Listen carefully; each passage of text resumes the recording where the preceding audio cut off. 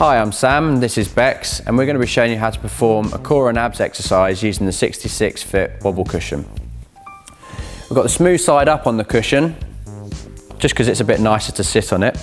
All we're going to have is Bex is going to sit on the cushion for us, and we're doing this one, we're looking to really work our abs quite hard here. We're going to have a basic crunch position, but we're going to start off at the top. We're going to lower ourselves down and come back up. Now, if you're at home and you don't feel that you've got enough leverage on your toes, it's absolutely fine just to anchor them underneath something or have somebody hold your toes down. So Bex is just going to perform a couple for us now. So you can either have somebody hold your toes like I am here, just going to let go, or you can try them without. Still absolutely fine. Quite a bit harder though without having your toes held down.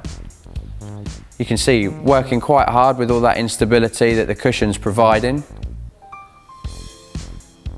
Do one more, good, and take a rest there. With this exercise, you're looking to perform around about 15 reps.